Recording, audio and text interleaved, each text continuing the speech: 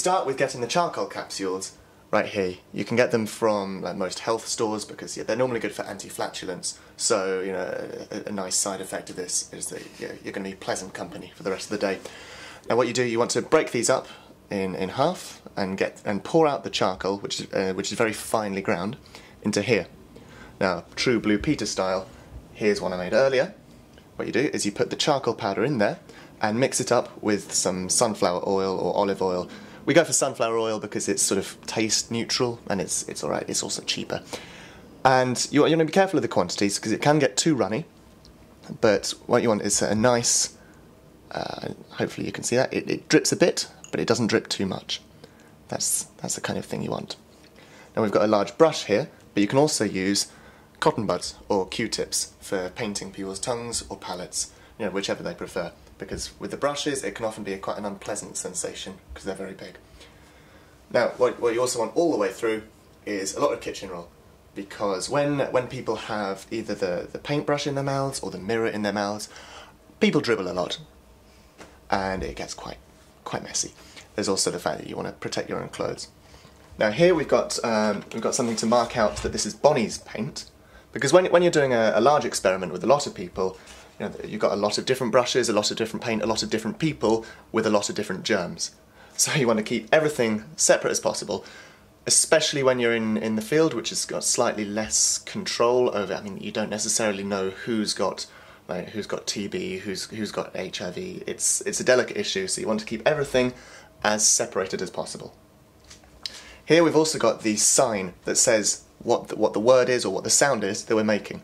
This is very important to have this during the either the video or the picture because after several experiments you forget who said what and when and to to then try and match up all the all the data with something when, when, when it's not properly labelled, that's a nightmare and it just defeats the point of the experiment.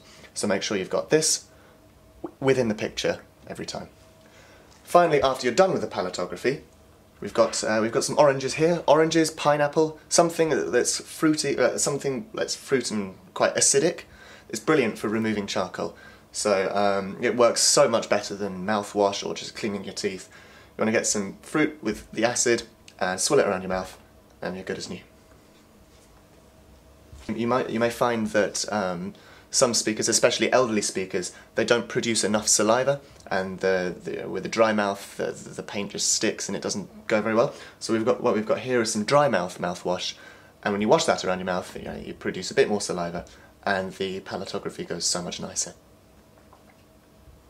And for when you when you when you use the mirror, what the problem with these mirrors is that they're quite expensive, and so unlike brushes and paint, in which you can have one for each speaker, you'll often only have one or two of these mirrors. So therefore, the, the hygiene and the cleanliness of it is essential. And that's why between each palatography take, we wash it down with medical alcohol. That, um, that, that, works a lot better than water, firstly because it's, well, you know it's going to sterilise it. Uh, secondly because the medical alcohol runs right off and it doesn't leave any smears, which water often does.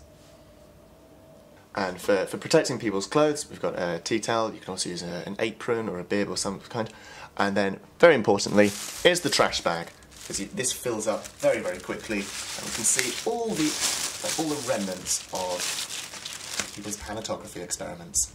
So you want to keep the trash bag close at hand because carrying these around with you is not pleasant. We often found that when, when we were doing a video experiment, uh, we get the rustling sound, get the rustling sound all the way through. And so you want to you want to put it in a position where it's not going to interfere with the recording, especially if um, the sound, you need a particularly high audio quality for the sound. And we also have the field notebook, which is where you write down all the information that's relevant to the experiment, such as the name of the speaker, the word that they're saying, whether the, this was the word uh, taken at the first, second, third attempt, maybe their age, maybe their dialect, maybe any any uh, any difficulties or interesting things that happened during the during the experiment. But this is the bag that everything goes in. So all this stuff, it doesn't take up that much space, but just get a nice padded bag or something, just shove it all in, and, and you're good to go.